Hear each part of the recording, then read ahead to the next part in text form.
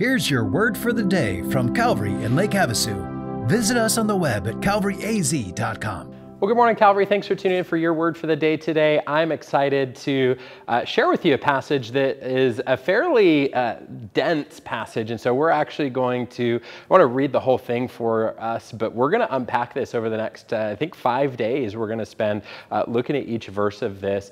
Uh, and I love this because it really explains who Jesus is. It's one of the, the clearest and most dense explanations of the nature of Jesus, the one that we follow and love. And uh, the, the thing that we get to unpack today is what would it be like if we could see God? And I want you to ponder that. Have you ever wanted to see God. And I want you to hold on to that as we read this passage and unpack uh, the first verse of this. So, Colossians chapter 1, starting in verse 15, it says this it says, He, that is Jesus, is the image of the invisible God and the firstborn of all creation.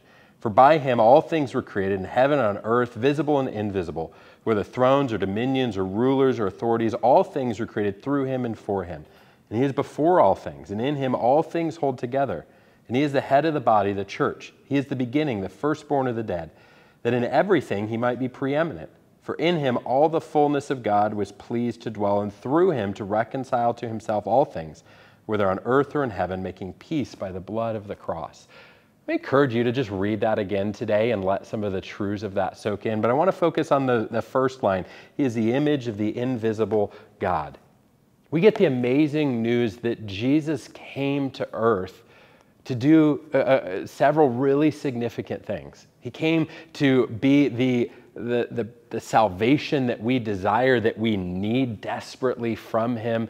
He came to be the example for what it means to live a life that honors God in a perfect way. But He also came so that we could see and know God. He came to visualize before us who God was when we look at the life of Jesus, Jesus himself said, If you've seen me, you've seen the Father. We get to visualize Jesus or, or visualize the nature of God through the life of Jesus. This is incredible news because forever, like, well, what's God like? What is his character? What is his nature? We get to look to the life of Jesus and read scripture and go, that's God. And so, through the life of Jesus, we get to see God's love for his people. Through the life of Jesus, we get to see his heart for serving those in need. We get to see his heart for forgiveness through the life of Jesus. We get to see how he reconciles people to himself. We get to see God's heart for truth and God's heart toward us all through the life of Jesus. Now, would it be great if we could walk and eat and talk conversationally in person with the incarnate Jesus? Well, of course, that would be. We can uh, have some, some maybe healthy envy for the disciples and for those in the first century. They got to do this in person. But we can also really understand the, the character and nature of God through the Gospels Matthew, Mark, Luke, and John, reading and getting to know the life of Jesus. Because if we do that, we get to see the image of the invisible God through the life, the ministry, the teaching, the activities of Jesus.